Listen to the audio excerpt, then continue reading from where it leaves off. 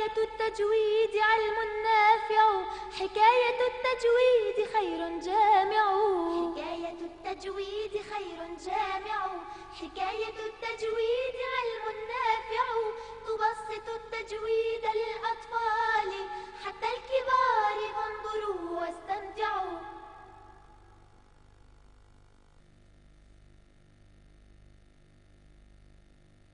نعم. إني أعرف أن حروف الصفير إذا سكنت أو كانت مشددة يزداد صفيرها. حين يكون ما قبلهما مفتوحا لذلك هما يضعان قبعة ذات مظلة مفتوحة وعندما أنطق الواو والياء أنطقهما بلين ورفق من غير كلفة لذلك هما يدوران في الميدان بهدوء واحترام. انظر الآن إلى مجموعة فرسان حرفي الانحراف اللام والراء وتأمل كيف ينحرفان ببراعة وإقدام. آه حقا. إنهما مذهلان. وهل تعرف لماذا سميا حرفي الانحراف؟ سمي حرفي الانحراف لانحراف كل من اللام والراء عن مخرجه ليتصل بمخرج حرف غيره ولذلك هما يسيران في الميدان بانحراف جانبي بارع أصبت يا بني وهل تعرف مثالا عن حرفي الانحراف؟ أجل مثل الله الرحمن مم. وللصفات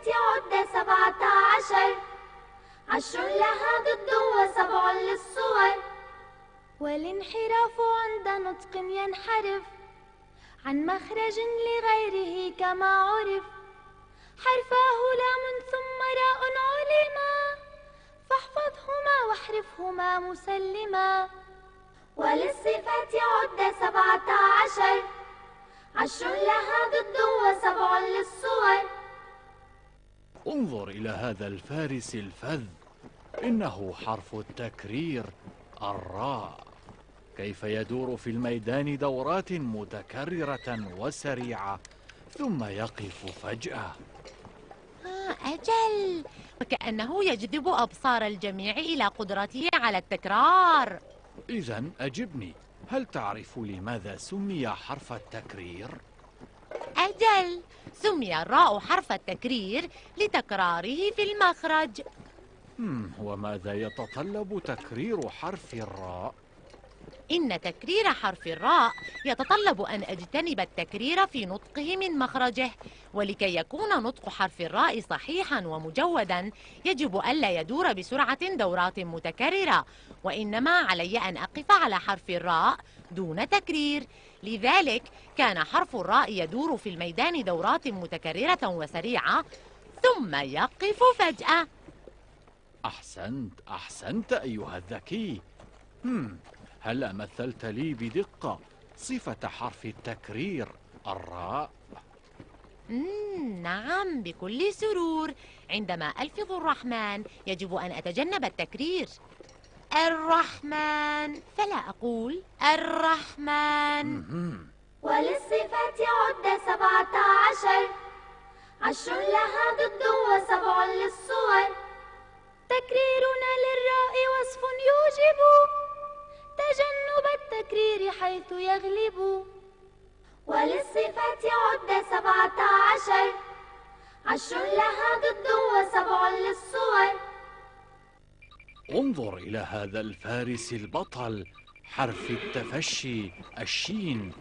كيف ينشر يديه الطويلتين مفتخرا. نعم.